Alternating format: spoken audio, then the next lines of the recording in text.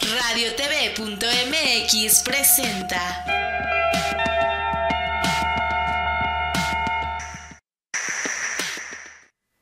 Bueno, ya estamos aquí en otro programa más de Vida México TV. eh, desde la Condesa, la verdad es que el clima bastante, ¿cómo lo ven? calor.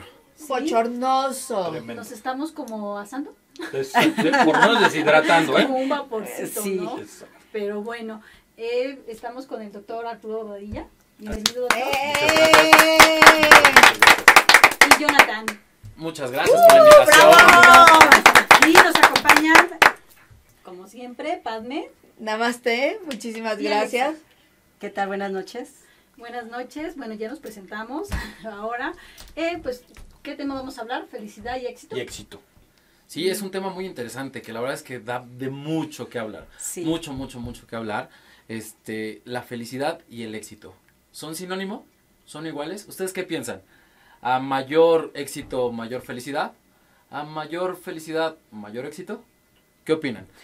Mm, Pues yo antes que nada eh, te preguntaría, ¿por qué esos temas? ¿Por qué felicidad y éxito? ¿Por qué Creo- juntos? ¿Por qué juntos? Ajá. Creo que es un tema que está muy en boga, ¿no? Tú le preguntas a un adolescente qué quiere ser de grande y exitoso, ¿no? Ah, ok. Y el éxito siempre, ¿cuál es el éxito? Va ligado a coches, dinero, mujeres, viajes, es el éxito, ¿no? Ah, Y ¿sí? se llega a, conf- a confundir el es- esos placeres con la felicidad. Entonces ya estás en el estatus mm, que, que, que te marca la sociedad, ¿no? Que es estar aprobado, ¿no? Ya soy exitoso, tengo un buen trabajo, tengo un buen dinero, tengo un buen coche. Y, y ese es el, el tema a abordar el día de hoy. Pa- Son que- diferentes factores, ¿no? Como que la felicidad yo creo que no es la misma para todos. Yo... Era lo que yo iba a decir. Exactamente. Si me permiten tantito. Yo creo que la felicidad es dependiendo de la necesidad de cada quien y lo que te inculquen desde tu familia. Yo creo que es lo principal. Para mí, en mi punto de vista, lo principal es ser feliz con uno mismo porque eso es lo que te va a llevar al éxito. No sé si estén de acuerdo. Em, Yo no estoy de acuerdo.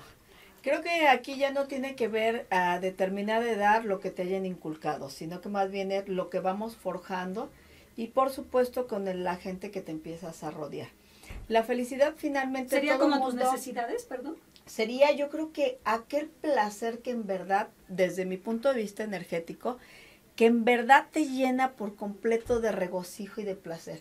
Porque incluso tú puedes desear cosas que pueden ser desde una alta esfera de desear una casa y en verdad eso te puede dar un, un placer, desde salir Eso con la mano con alguien, ¿no? pero también te Porque puede dar placer, ¿cuánto tiempo vas a ser feliz? O sea, en lo que lo compras. Me ha pasado que me compro un auto nuevo y soy feliz nada más en lo que me lo compro y lo uso y al otro día pues ya... Ya pasó Pero mira, Es que yo no creo que eso sea la También felicidad te voy a decir que aquí viene la otra felicidad donde me quedé con Jonathan, dame esta mano.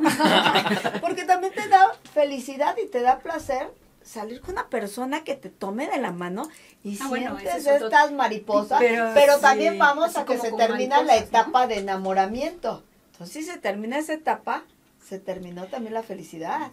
Entonces, de acuerdo a lo que acaban de decir todos, la felicidad entonces sí es un momento.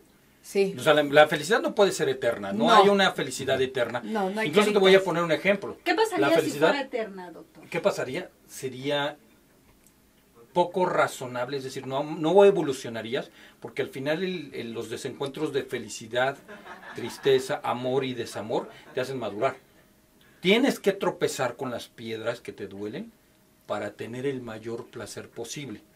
Cuando tú aprendes, por ejemplo, que los demás no son tuyos, cuando aprendes a no celar a los demás, por ejemplo, en una relación de pareja, aprendes que el confiar y el que confíen en ti te da una relación de comunión, de eso se pareja. vuelve una relación y exitosa. eso se ¿no? vuelve, exactamente, Así y es. eso es a lo que se llama No, y no está vinculado todo, a lo algo muy importante, tú eres feliz. O sea, Sí. al momento de que tú tienes confianza en la persona, tú misma eh, te abres las puertas a la felicidad, porque bueno, no es lo mismo que estés como comenta usted, o sea, celando a la persona, cuidándola, y estás así con la incertidumbre. Lo que de- pasa es que ¿No? Lo que pasa es de que la mayoría de personas ponen la felicidad en el otro y no debe de ser Así. Y una felicidad, tam- o sea, una persona no puede estar en una, en una sola línea. Tienen que haber altibajos, porque eso es lo que te va creando tu carácter, te va haciendo como persona, te va ayudando a darte cuenta que este camino pues no te funcionó, entonces me voy por aquí. La felicidad no puede estar así, lineal totalmente. La sociedad influye mucho en eso, ¿no? Es, Así es. el coche, la camisa, la marca, la corbata, para ser aceptado, ¿no? Bueno, desde la universidad, déjame te digo. Claro. Desde Pero, pero aquí viene. es con el mismo concepto. La felicidad es interna y el éxito, la palabra éxito, exit, Afuera. fuera. Realmente, por ejemplo, tú puedes decir yo soy exitoso. Y mucha gente, la gente verdaderamente triunfadora, se denomina a sí mismo exitosa. Pero la gente fracasada es la que dice, oye, ¿tú cómo me ves? ¿Cómo me ves? O sea, no Necesitas un reconocimiento. Ah, Necesitas un reconocimiento. de vida. Es como. Exactamente, es una la cuestión- autoestima muy baja, ¿no? que- Porque están preguntando para que llenen la autoestima y se sientan. Qué brillante expresión Claro. acabas de hacer. Exactamente. La felicidad es una cuestión de autoestima, de cuánto te estimas a ti mismo, de cuánto automáticamente eres capaz de no hacerle caso a los demás de una crítica destructiva, de no hacerte menos en una situación y de finalmente generar Pero- una emoción positiva. Pero ¿sabes qué, mi querido Arturo Bobadilla? Yo creo que aquí también estamos eh, tergiversando, porque eso también sería como que parte del optimismo, no sería tanto como de la felicidad, porque aquí obviamente estamos hablando de esta parte que a todos nos gusta ser muy bueno, cuando en realidad tenemos todos esta parte tanto positiva, por eso está nuestro bendito yin yang, porque como también puedes tener esta parte negativa que de pronto llega la gente y te ataca y te dice, oye, Pam, es que tú dices que eres tan buena, exageradamente buena, ¿y cómo me acabas de gritar? Mi vida, si me acabas de traicionar hace dos minutos y quieres que me quede cruzada de manos, o sea, Claro. no confundas en esta parte de tu espiritualidad con lo que tú quieres estarme haciendo ver que es algo muy diferente. Sí concuerdo con ustedes en que si no tenemos este trago amargo que siempre lo ha dicho mi esposo, ¿cómo vas a saber que es dulce si no conoces tu lado Tu amargo? amargo, claro. Así de Tienes que vivirlo. Entonces, Lo Claro. que decía el doctor, ¿no? Todo es un es, equilibrio. sí. De, hecho, la felicidad es el punto de equilibrio. Así es. Te voy a poner ejemplo. Yo siempre he dicho que si quieres conocer verdaderamente a alguien, tienes que llevarlo a dos puntos. Al máximo de la felicidad. Así es decir, es. que te, que te diga, Sí. wow, eres el máximo, bla, bla, bla. Y al máximo del dolor Sí. o de la tristeza. Porque ahí es donde te vas a dar cuenta si es capaz de aventar algo, si es capaz de destruir. Yo conozco relaciones donde dices, se llevan muy bien y de pronto llegas y dices, oye, ¿y el espejo? No, pues fíjate que fulana o fulano enojado rompió. lo rompió, ¿no? Dices, ah, caray. o sea. Claro. Sí, entonces yo creo que yo Ahí creo que la parte que- tolerancia, ¿no? la, la tolerancia entra, de hecho para ser feliz que tienes que llenarte de muchos de, de muchos conceptos y muchas muchos valores. y muchos valores, exactamente. Te voy a poner un ejemplo. ¿Quieres ver a alguien feliz? Yo te voy a hablar de, de dos, perdón, de, de- de dos cuestiones de felicidad. Tú a un niño dale un helado y es el más feliz del mundo. Y en esta Bueno, época, también, ahorita, bueno, en este sí, momento estaríamos felices, hace la ¿no? mujer ¿Estás de más acuerdo? feliz. Ya te voy- pero te voy a poner el máximo de la felicidad. Yo palpo constantemente lo que es la felicidad. En el momento en que le acerco al bebé recién nacido a la mamá y le digo, señor es niño o niña y está sano, Wow. en ese momento las ves llorar de felicidad literalmente Claro. y expresar el máximo punto, hablando de lo que decía Jonathan, de llenarlo de elementos. Amor, agradecimiento y el momento pleno del encuentro sin, de sincronización como, como, Pero vieron mujeres, a ver, ¿escucharon al doctor? Sí. Dijo la mamá, más no el papá. Así es. Sí. No, no, espérame. El no, papá sí, estar, sí, sí. No, y ahí así no. lo dijiste. Papá, El, papá está sufriendo por la Claro. cuenta del hospital. No, Pero Se caen ahí en la desmayan. es que, ¿sabes qué? O sea que la Es que yo te voy a ejemplo. el cariño más grande. Yo como ginecólogo te Pues puedo es- decir que el punto de, de- Ah, de- ok. de- del bebé, la parte más profunda del bebé es que tú tienes una maravillosa virtud. Tú lo sientes. Tú dile al, al papá, oye, tócalo. Y lo tocas, y pues no sientes nada porque no lo tienes internamente. La mamá tiene ese proceso de crecimiento. Y eso es lo que le hace feliz. No hay mayor felicidad que le digas, tu hijo va bien. ¿Quieres una, una parte drástica? Que le Ajá. digas, tiene una malformación. O no nació. Pero volvemos al mismo, que- Arturo. Yo creo que esta parte de felicidad sí es ese momento y que vuelva a lo mismo. Son únicamente momentos, como decía yo, desde el tomarte de la mano, A ver, que las sí. mujeres simple y sencillamente somos tan sencillas en esas cosas. El mensaje por WhatsApp, Ah, ya me dijo que sí se va a dormir. Pero yo creo que aquí también va, y vuelvo a lo mismo, más. es la necesidad de cada persona. Tu felicidad la, la sientes de acuerdo a la necesidad que tienes en el momento. No puedes ser feliz por lo mismo. Aunque ahorita que tocó el tema el doctor, pues las felicidades más grandes pues es cuando eres mamá, cuando te casas. Depende. Yo no creo porque que no, no creo, que porque hay, mamá- no, hay mujeres que les dices no que eres mamá y hay mujeres que no sí, sienten la sí, sí. felicidad. ¿eh? Así Bueno, no, ahí, yo creo ahí que es no- depende no del momento, ¿eh? Porque por ejemplo, a una Pero mujer... hay detalles así, ¿no? Cuando te dan el anillo. Ay, ¿No? sí. Pero vuelvo a lo Sí, mismo, ¿no? es la ¿No vieron el necesidad video de YouTube de sí. esta mujer que en Bellas Artes le dan el anillo de compromiso y dice, no, no, no, no? Sí. ¿Viste la cara Claro. de no? Por lo O sea, que te digo, o sea, qué Depende pena, de sí, sí, ojo. estás Lo que, dices es muy quería. cierto. de tu A mí me necesidad. lo dieron en un globo terráqueo. Eso es lo que yo digo. ese ahí el punto. La es felicidad y el éxito es de lo que quieres y lo que no quieres. Bueno, la- yo les Porque voy a te- preguntar esto. ¿Felicidad y bienestar es lo mismo? Felicidad y bien, no. No, No, no, son no. dos cosas El- completamente la diferentes. felicidad es el, el instante emocional donde estás pleno y satisfecho de algo que te alegra. La Es parte de la felicidad es que te alegra, que te hace generar una, un acto positivo emocional interno. Acto positivo, estoy de acuerdo. Ajá. Y el bienestar, separando la palabra, es bien estar. Estar. Por ejemplo, a lo mejor ahorita si estuviera aquí Estoy con un clima, un rico café, etcétera, etcétera, etcétera, ¿No estaba en tu estar en el- camerino, Arturo? Te lo dejamos pero- en tu camerino. Perdóname. En el mío sí. Ya eso. Son felices, Entonces, el ¿no? bienestar, Miren la el bienestar, lo que hablábamos Jonathan y yo al- al- al- afuera en, en el aire, perdón, afuera del Fuera del aire, aire. decíamos algo muy cierto. Te- a veces debes 200 mil pesos de tu auto, pero te subes al auto. Claro. Sí, Me hay- vale lo que debo. Sí, sí, sí. Hay No quien dice, va a pagar, pero va a pagar, ¿no? hay quien dice que no es lo mismo llorar en un bochito que llorar en un Ferrari, yo nunca he llorado en uno. Pero volvemos a lo mismo si se dan cuenta ustedes dos cómo iniciamos el tema.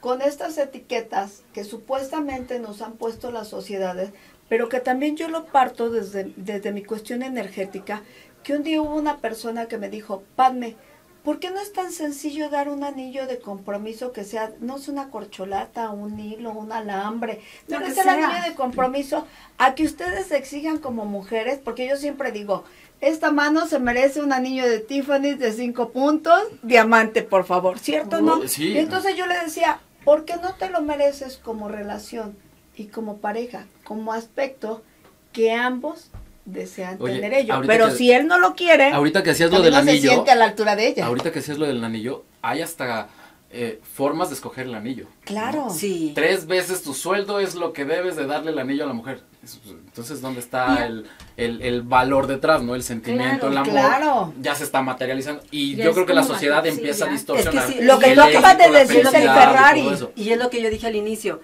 también viene mucho de cómo te están educando, porque si naces, si creces en un ambiente donde el- el- desde la, la base, el núcleo familiar es materialista, así es como vas a crecer. No, y es algo, así. algo que Y quiero, que quiero, este, No creo, sobre Pati, lo que está digo, no hablando creo, Alexa. Alexa.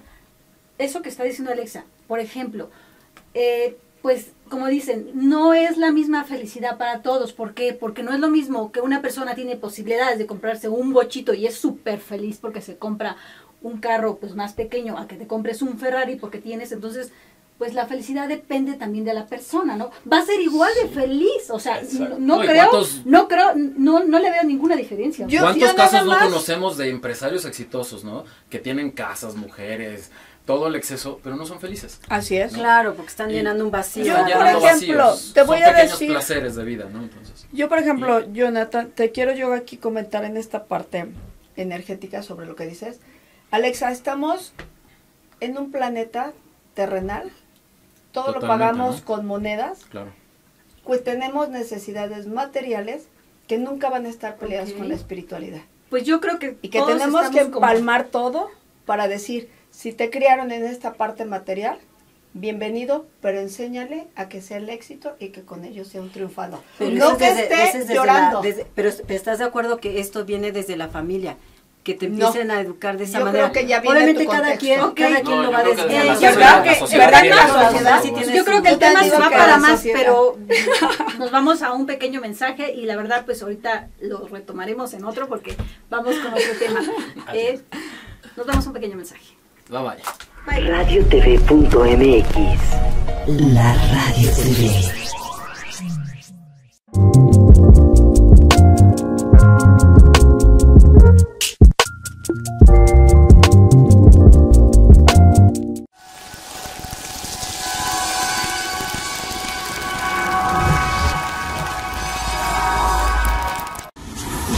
Deja que la imagen alcance tus oídos. radiotv.mx.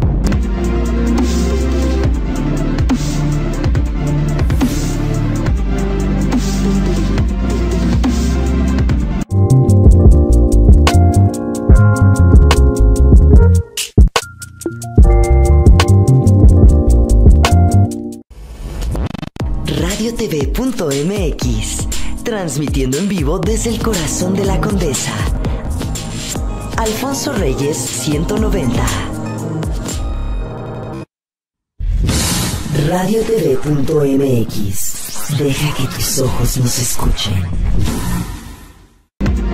radiotv.mx. La Radio TV.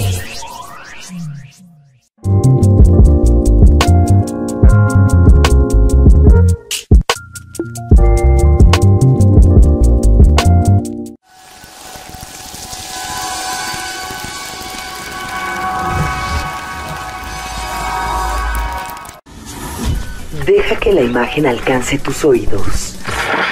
radiotv.mx.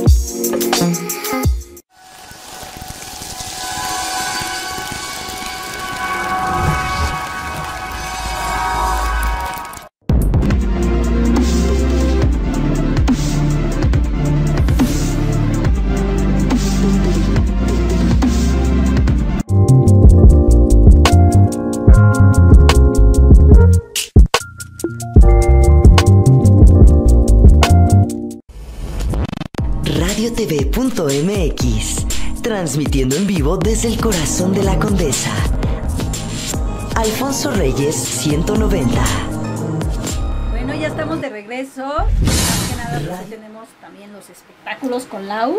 Lau, ¡Eh! bienvenida.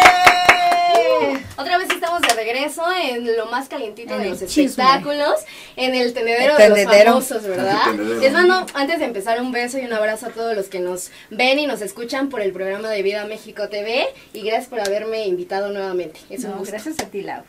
¿Qué nos traes, Lau? Sí, pues les traigo primero que nada el- la nota de Lupillo Rivera, que lamentablemente estuvo a punto de ser secuestrado. El- afortunadamente pudo escaparse. Querían eh, robarle el dinero de la presentación que fue a Puebla, pero sí se pudo escapar. El chofer y el guarura fueron los que sí los secuestraron. Ya se dio la noticia ayer, ayer en la noche, que los habían liberado, pero afortunadamente Lupillo pudo escapar. Bueno, Por desgracia siempre es gente muy cercana a ti. pero y con la tecnología que tenemos en el siglo XXI, ¿llevaba el efectivo en- con él? Pues al parecer sí llevaba el efectivo. Aparte, ¿sabes qué? ¿Cómo sabían? O sea, como dice Claro. eh, Padme, Que alguien les avisó, alguien les dijo que, que pues le habían Porque tú pagado pensarías transferencia. Claro. Entonces, ¿cómo lo saben con esa A, a seguridad? veces son los mismos empleados. Así es. Sí, ¿No? como en los bancos vas a retirar y ya le dan el pitazo a los de la Y pidieron sucursal. recompensa para los empleados. No pidieron así. recompensa, eso es lo más raro, que no les hicieron nada. O sea, los No. liberaron afortunadamente, ¿no? Para su familia, pero pero sí Lupillo Rivera ahora sí que últimamente ha estado muy muy Ronda mal. por ahí algo de Jenny Rivera queriéndole decir. Como que la mala racha. Algo así. del apellido Rivera, yo creo. Del apellido Rivera, la maldición de los Rivera. Au, qué fuerte. Está fuertísimo. También la nota del- de la chilindrina ya Ah. se va a retirar.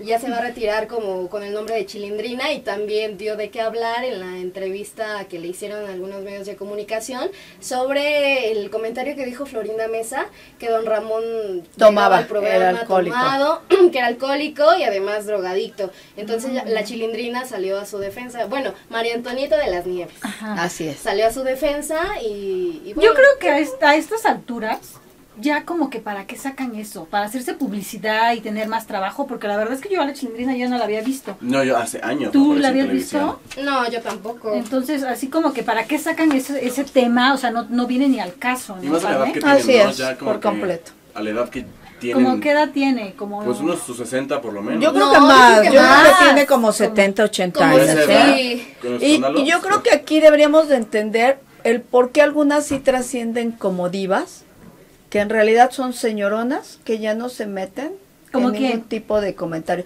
Yo creo que para mí alguien que yo quiero, admiro muchísimo es la señora Jacqueline Andere. Con una sí, fuerza es una histriónico, reina, ¿no? es una diva y mis respetos por ella. Y apenas la Sí. acabo de ver en la entrega de los premios Muy a lo mejor del teatro y ve, o sea, pero por eso trascienden como divas y siguen presentándose en obras de teatro y son Siguen sus trabajos, así es. Y sin necesidad de hacer ese tipo de comentarios tan Sí, porque ya quién, es María Antonieta en realidad. Supongo que se quedó atrapada en el personaje de la chilindrina y fue un poquito como expresarse a, a- a sus Y amigas. llamar la Pero atención. realmente Exacto. la que dio ese comentario fue Ella, la- ¿no? No. Y Florin- ¿Cuál? Florinda Mesa. El Florinda comentario de, que, de, de don Ramón. Que De don Ramón. No, fue doña Florinda Mesa. Ah, entonces Ella ¿Y sí fue comentario. ella o nada más se lo enjaretaron Sí también fue a la ella, pobre? sí, porque está, está las grabaciones. pues muy mal por ella, o sea, no, no- ya como que no vine al caso a hacer ese comentario, ¿no? O Sí, sea, sacar el tendedero, eh, digo. Como que son cosas detrás de Son y en su personales. momento, ¿por qué no lo sacaron? Porque no les convenía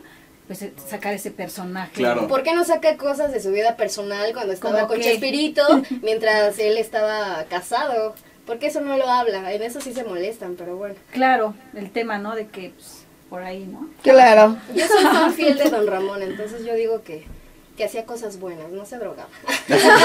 bueno, eso no lo sabemos, pero realmente no viene al caso, ¿no? Ya es como que Como que ya es agua pasada. sí, no ya. No, ya, aparte Ay, con otro tema, años. Lau, Sí, otro mejor tema. otro tema. ¿Qué te Eso parece si hablamos de las redes de los espectáculos? Ah, Bien. Eh, sí ubican a, ¿cómo se llama? Natalia Jiménez. Sí, Sí, claro. La de la Eh, ¿Qué ¿no? canción ubican más o menos? La, eh, la del besa, la del el, el- la del sol.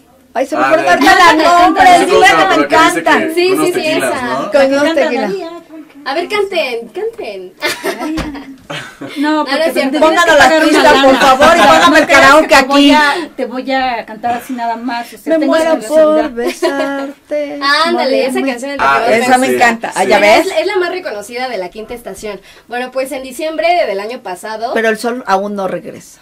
Esa también, Natalia Jiménez mencionó que Sí, sí, se había sí. casado. Ella es igual como Paulina Rubio, hace ocho días hablamos que no sube nada de su vida personal.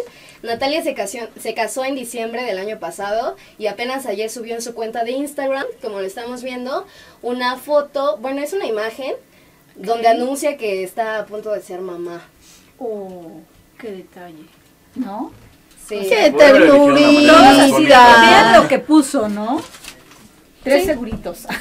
Uno pequeñito y ya así como que nosotros háganse la idea. Pero hay Así muchas es. famosas embarazadas últimamente. Bueno, obviamente entendemos que ya es la primavera, por Dios santo, o sea, ya tiene que salir y las que van a quedar más embarazadas. Sí, hay muchas embarazadas. Está, eh, Este, Ariadna Díaz, que es, Es un- sí. También es un año libre, acuérdense que lo dijimos desde el año pasado, y es un año en el cual yo les decía, aquellas que se quieren embarazar, bueno, por favor, va a ser un año facilísimo. Y si no se quieren embarazar, cuídense porque hasta con la chamarra del novio del esposo van a quedar Es embarazadas. un año muy esta fértil. Sí. Díaz.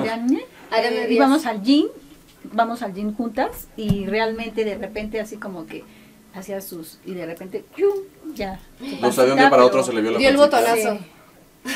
Sí, sí, pero muy guapa, ¿eh? Sí, ta- Guapísima. también hoy anunció este Alfonso Herrera, el ex integrante de RBD, Ujú. que va a ser eh, va a ser papá también. También. Ah, ok, sí. O sea, es la rachita, pegó, les digo que es la sí. rachita. Pues cuidado con ustedes, ¿eh? Su esposa, ¿es su esposa? ¿Ya está casado? Sí, claro. Sí, se Ok, casó. no es del medio. No, me parece que no. Sí, no, porque no lo vi. Pero bueno, ya están grandes y ya, ya saben lo que quieren. No, ya están en edad. Claro. Ya, Ya, ya, ya, ya. Ya hasta es se habían pasado un poquito. Sí, pues ya. También Bárbara Mori, precisamente Ah, sí, hablando de los embarazos. Ah, Bárbara Mori también. Sí, Bárbara Mori. No, esa fue de los piecitos de Paulina Rubio. Ah, Ajá, sí, es sí, cierto. Bárbara Mori subió una fotografía, a ver si ahorita la pueden poner, que está, aparece su pierna, la mano de su esposo, porque también apenas se casó en febrero de este año. Así es. Y dice juntos los tres, pero la incertidumbre es quién es el otro, Tú- quién es la otra persona. Creo que es otra cosa por ahí, ¿no, Padme? Es que será como un trío. Ahí está.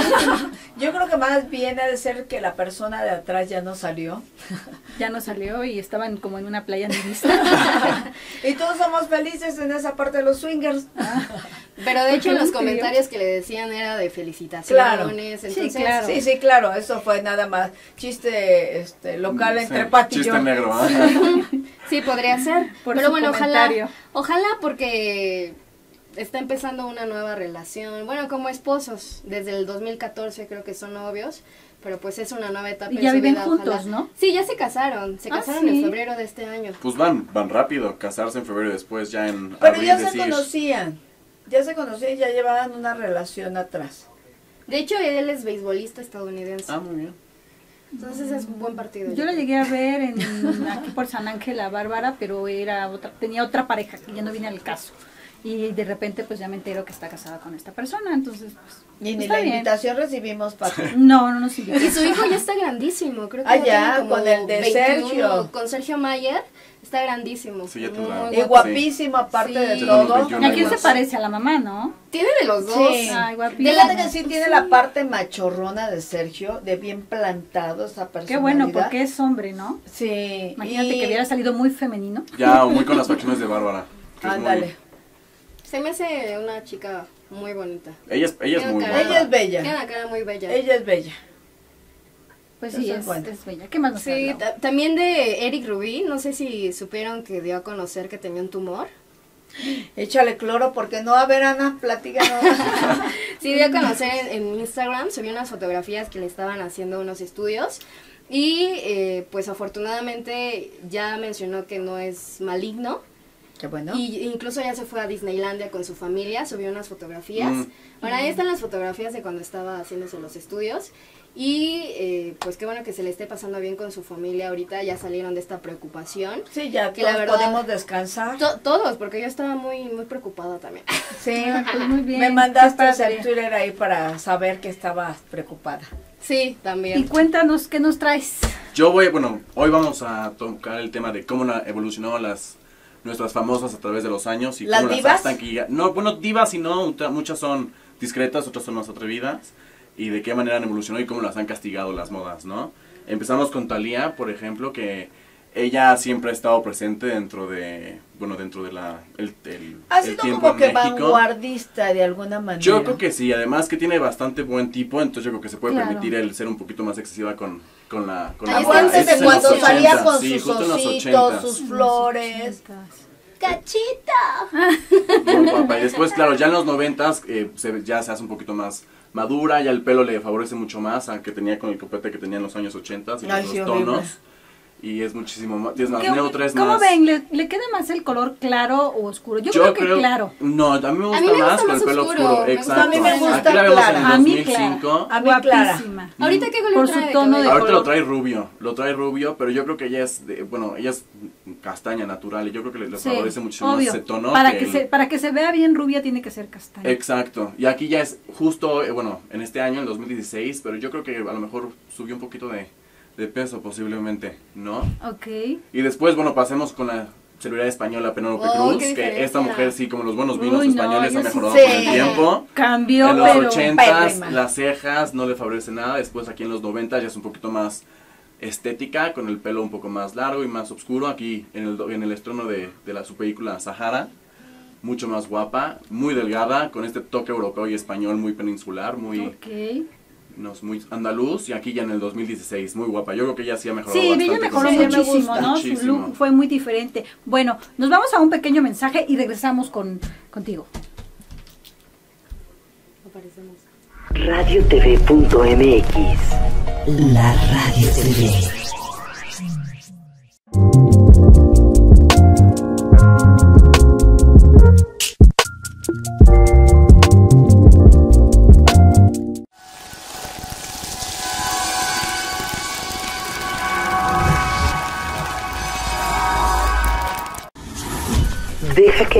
Alcance tus oídos.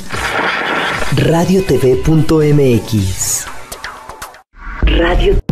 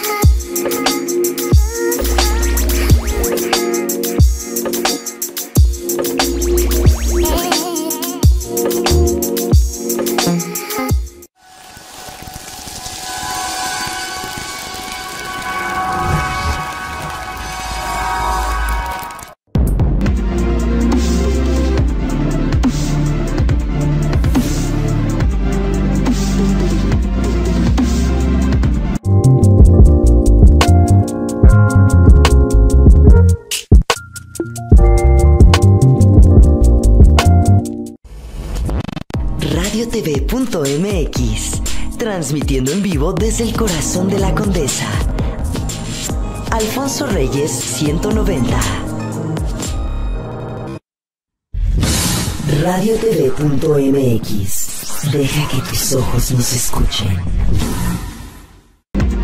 radiotv.mx, la Radio TV.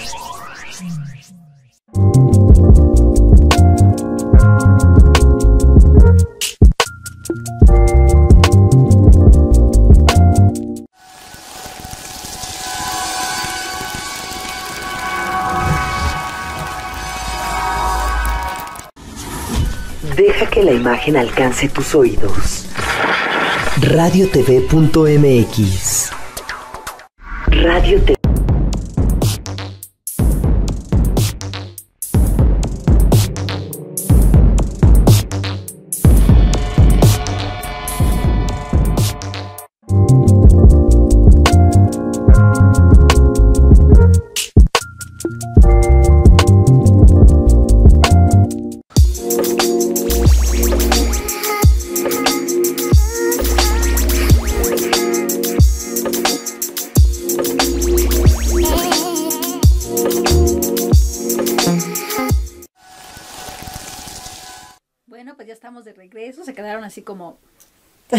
¿qué pasa con Talía? ¿Qué pasa con Penelope?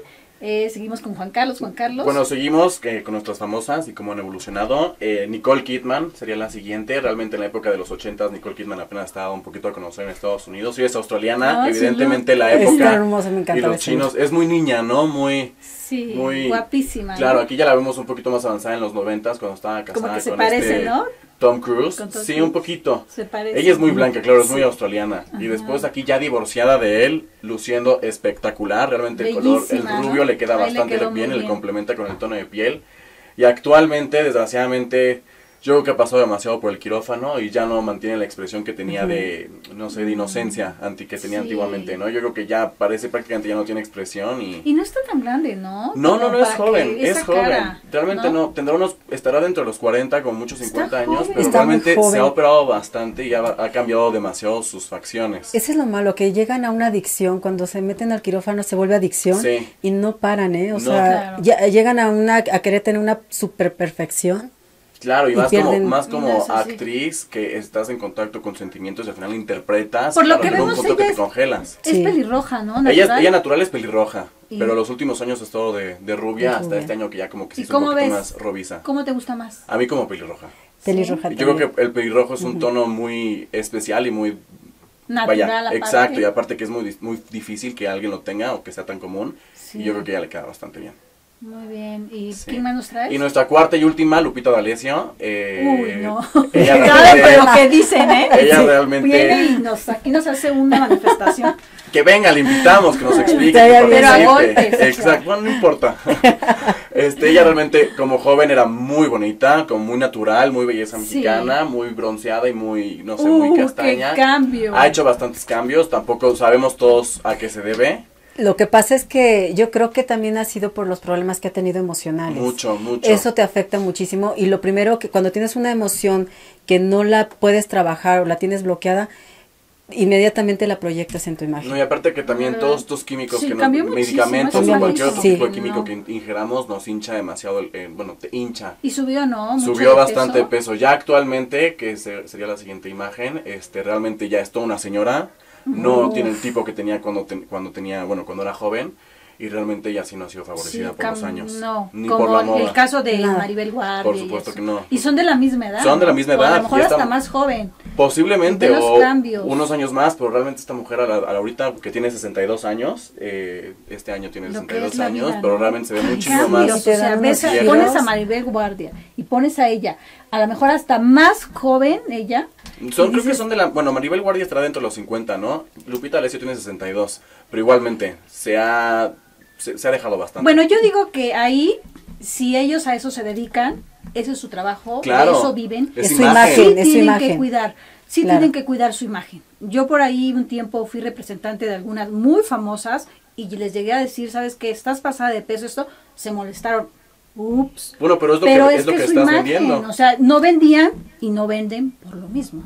Claro. Entonces, Lo que No, pasa es que eh, eh, Lupita D'Alessio siempre ha tenido un carácter como muy rebelde. bueno, bueno. O o sea, sea, siempre va así como que en contra de lo que le decían. Pero yo creo que dentro de todo, o sea, Lupita D'Alessio, o sea, con todos sabemos que es de carácter fuerte, pero yo creo que más bien como que le ha hecho el le ha hecho la, la- la expresión muy dura, ¿no? Y tampoco y la vida tampoco le ha perdonado bastantes cosas. Exacto, yo creo lo que eso yo se hace decía. más dura y eso. No favorece. Proyectas lo que sientes, lo que tienes por dentro, lo proyectas, es, es inevitable. Y cuando proyectas negativo, come. O sea, Sí. pecar come. Vaya. muy sí. bien, pues muchísimas A gracias. ustedes por la invitación, muchas gracias. Y bueno, seguimos aquí en el mismo tema con eh, Gerardo Vázquez. Gerardo, ¿de qué nos vas ¿Cómo a hablar? estás, Pati? Bien, ¿y tú? Bien, gracias por invitarme otra No vez. a ti.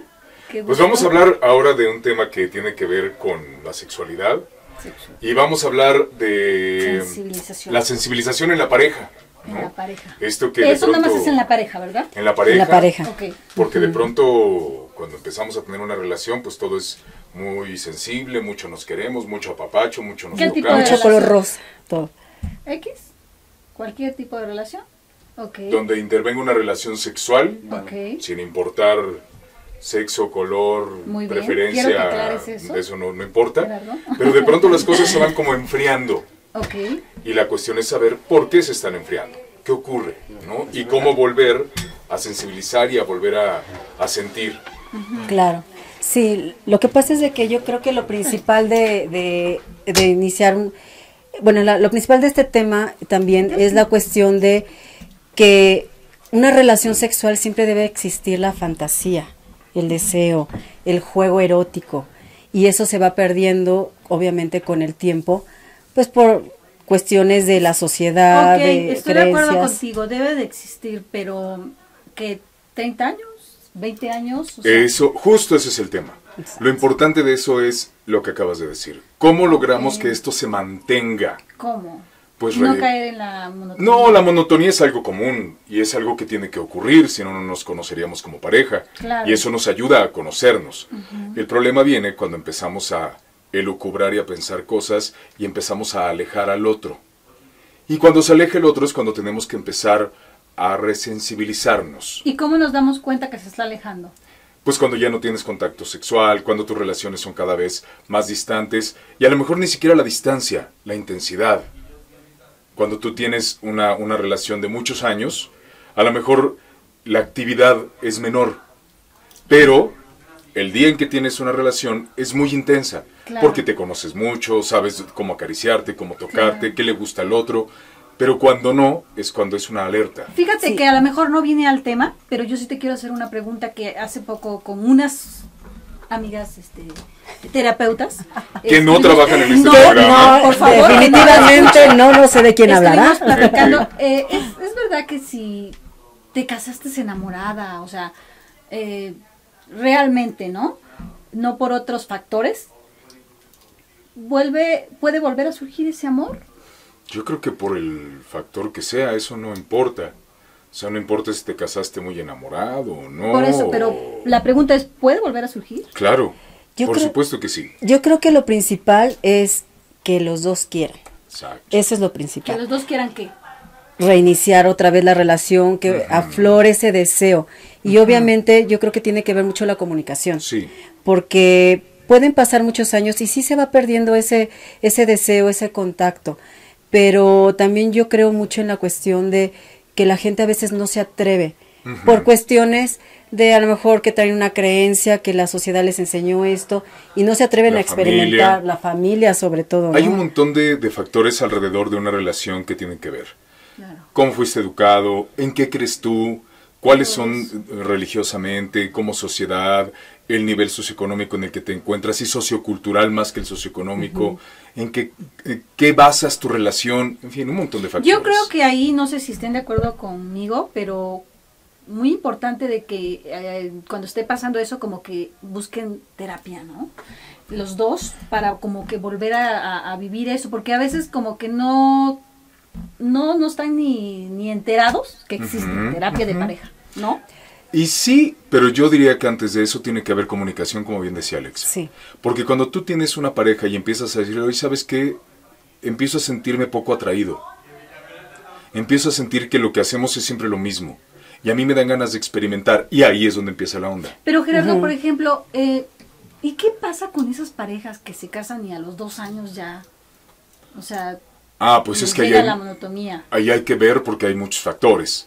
Pero lo importante es cuando se dan cuenta de esto, eh, empezar a experimentar.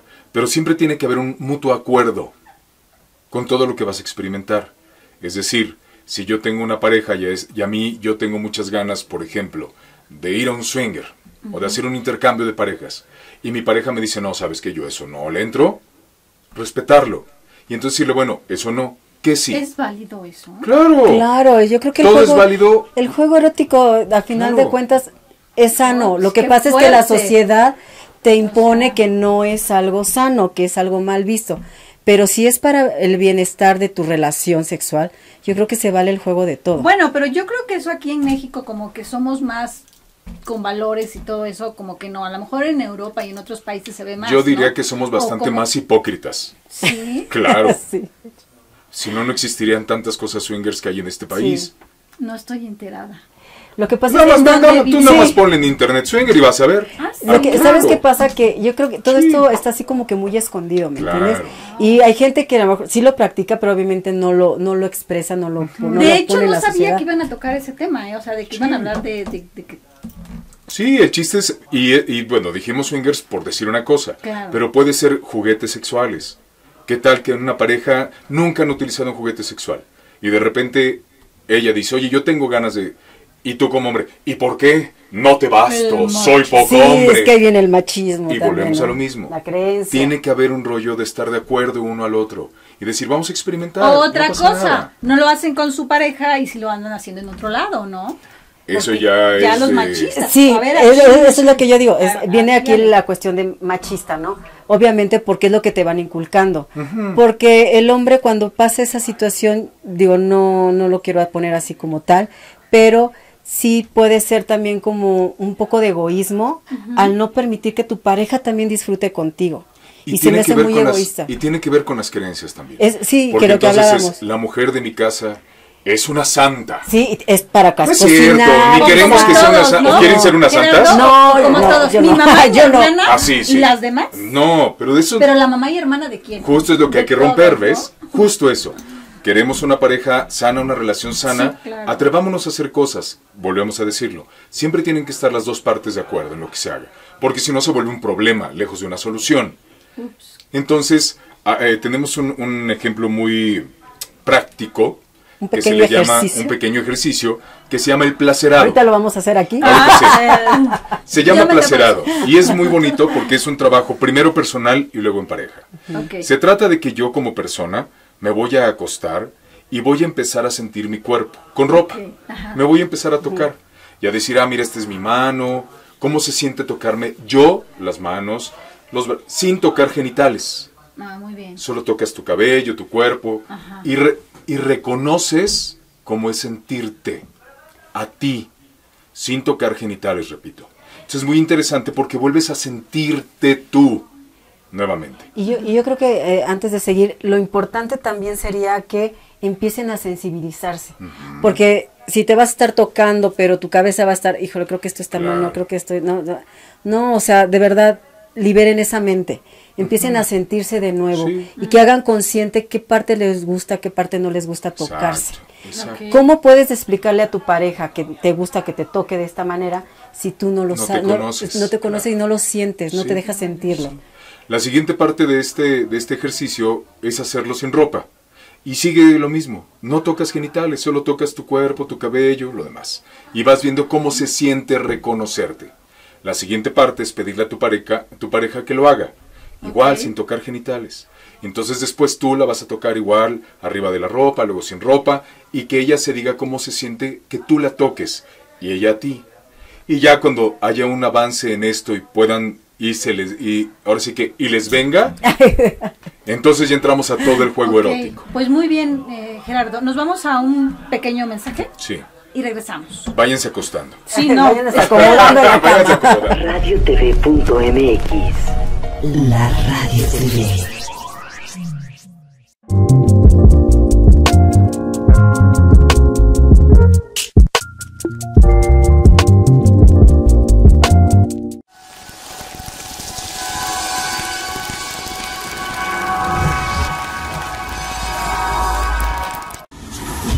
Deja que la imagen alcance tus oídos.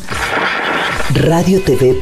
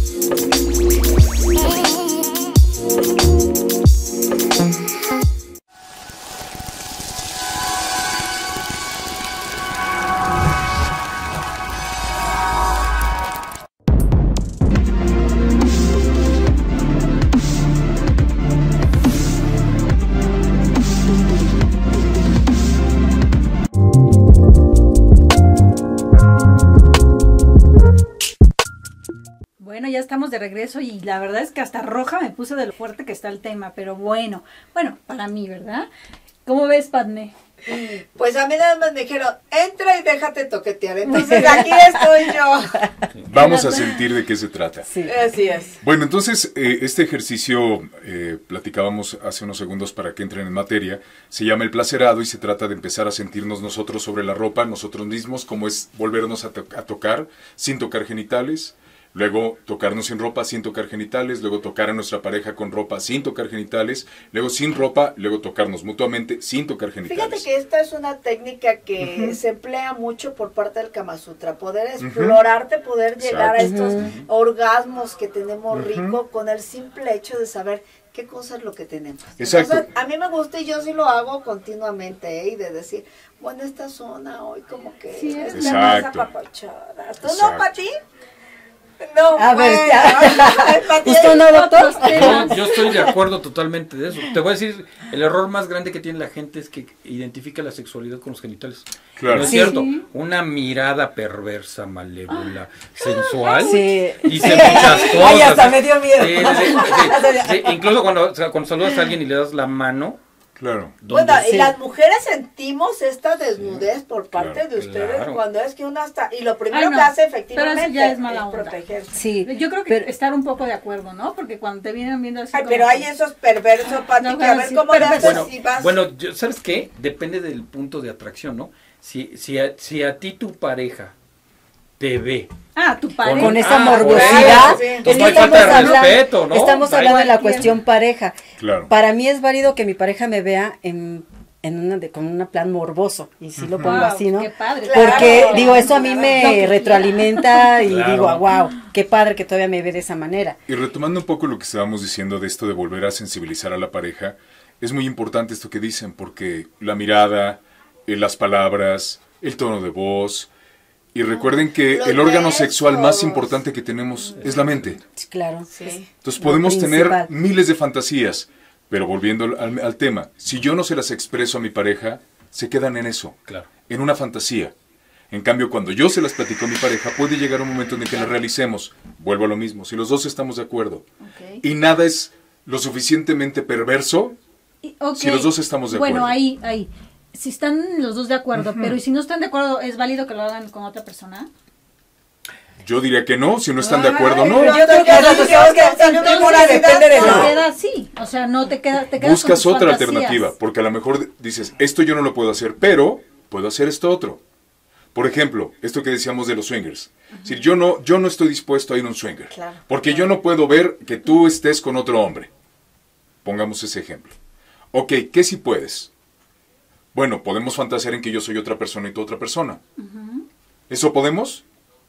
Órale, Puedes- cambiémonos de nombre. Claro. Y entonces es otro juego. Y vistámonos distinto. Y ponte una loción, un perfume que nunca de uses. bombero. Yo, yo- yo- yo te voy a poner el hecho, el hecho de los juguetes sexuales Ah, Sí, sí, sí, son claro. parte Sí. precisamente del placer. De hecho, los juguetes sexuales son una réplica de los genitales. Y cuando hablamos de la réplica de los genitales y se utilizan en el juego de pareja, es como si hubiera más personas participando. Claro. Ese puede ser parte precisamente de un juego y, y una conjetura. La fantasía es utiliza tu imaginación. No significa que vaya a suceder. No. Es como si yo te digo, oye, vamos a la luna y me dices, no, yo no quiero ir a la luna, ¿no? Claro. Ok, espérame, vas a ir a la luna cuando tu mente se lleve haya hasta ahí, decidido. claro. El orgasmo más potente y más impresionante es aquel donde llenaste tu mente de, Claro. De fantasías. Claro, sí, sí, sí. O sea que todo está en la mente. Todo es la mente. sí. El, es que la mente es tan poderosa como te puede dejar avanzar o como te puede bloquear. Claro. Totalmente, es sumamente importante. el, me- el mejor deseo yo creo que es el que puedes provocar. Te voy a poner un ejemplo. Milán Kundera en La insoportable levedad del ser decía que las mujeres tenían el poder de la coquetería y decía, ¿qué es la coquetería? Podemos definir a la coquetería como una promesa de coito sin garantía. Y es verdad, es. cuando una mujer nos coquetea, nosotros imaginamos y decimos, wow, ha de ser buenísima en la cama o en el sexo. Y resulta que no, Que no. fue muy triste. Y a veces dices, Bueno, pasa lo mismo con veces- el hombre Arturo Sí, seguro, claro. con unos megabesos Y- increíbles y- y, y- después Incluso, puedes, que ver, incluso ¿no? puede ser al revés. Incluso a mí me ha llegado a suceder que de pronto dices, no, de veras ha de ser súper aburrido y cuando sales de ahí dices, Uh, Wow. Otra cosa. Claro. Eh, Gerardo, pues ciérranos. Eh, Sí. Ciérranos esto, por favor. Pues eh, invitarlos a que se reinventen, a que se permitan explorar, Que se a que estén de acuerdo con su pareja, a que lo platiquen. Y esto, la comunicación es muy importante y que se permitan ir más allá. Siempre, siempre vayan a la imaginación y jueguen con eso. Porque entonces es cuando van a permitir que su pareja se resensibilice y se vuelva a dar esta unión sexual y de energías que es tan importante. Muy bien, ok. Bueno, pues nos despedimos. Eh, gracias por acompañarnos. La verdad es que pues no- aquí nos falta tiempo, ¿verdad? Sí, ya sí, otra sobre todo hora en este tema. sobre todo cuando nos extendemos. Eh, muchísimas gracias por acompañarnos. Un abrazo. Bye.